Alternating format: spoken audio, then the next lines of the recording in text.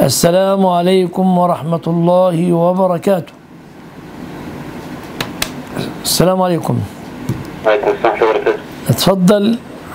كنت عايز السؤال عن رواية يحيى بن سعيد القطان عن سفيان. مش عارف هو بيقول سفيان ويسكت مش عارف سفيان الثوري ولا سفيان الثوري.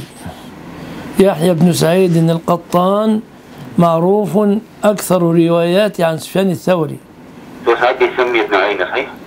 ما الله أعلم يعني ما يحضرني بس أكثر روايات القطان عن الثوري. من شيخ سفيان عندك؟